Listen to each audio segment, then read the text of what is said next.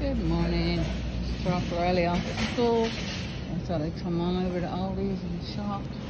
I just wanted to show you how they have went to self-checkout. Self-checkout one, two, and three, and four, and they only have one. Um, yeah, self-checkout. Yeah. Well, that's not, but they're closed. They only have one. Number three is the human line. the rest is self-checkout, which sucks. But nothing you can do about it.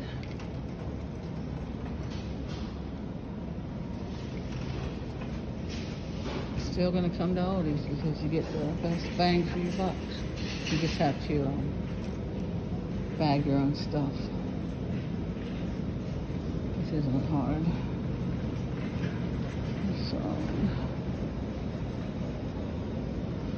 Produce, they have lots of produce. Their meat selection isn't that great, but they have lots of produce and I get some strawberries, two ninety nine. I make this uh, salad with strawberries. It's kind of like the one Wendy's has. You um, get chicken breasts, season them, fry them, and uh, then you put it in spinach. I use spinach. Oh, I love that. I hate touching things, but that was not good. yeah, you can put it in any kind of lettuce actually, but I, I like to use spinach. And then you put uh, feta cheese in it. And uh, strawberry or raspberry vinaigrette. The strawberry vinaigrette's not always a available. But raspberry is good too. It is so good.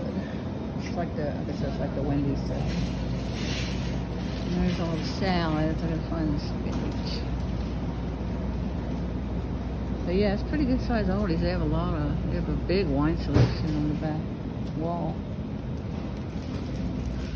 I'm gonna get off here now, guys, so I can shop. I just wanted to show you out. Aldi's is now going to self-checkout. So everyone have a um, terrific Tuesday. Love you guys. See you next time. Bye for now.